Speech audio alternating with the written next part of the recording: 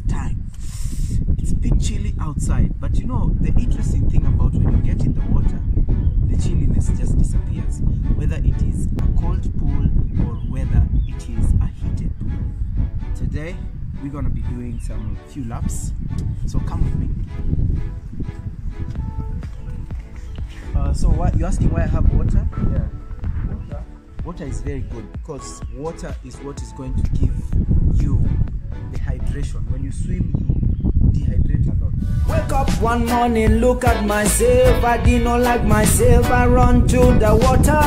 I run in and I dive in the water. I swim and I swim and I swim, swim, swim. And one day I come, a second day I come, a third day I come, a fourth day I come, a fifth day I come, a sixth day I come. Guess what? It was a whole month then Me and Luca first month Me and Luca second month And the whole third month I was a different person Me I go again Me I go move it up Me I go start eating the right food Let me tell you, refreshing. Absolutely refreshing. So, you know, uh, what's on your mind when you're doing any particular exercise should just be exercising.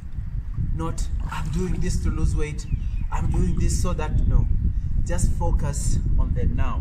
The little task you need to accomplish today is the now.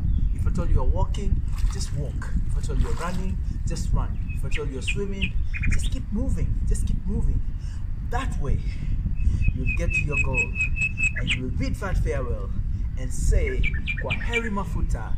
Mafuta Farewell, tumewachia a big gari. fat Thank you farewell for kwa heri watching. mafuta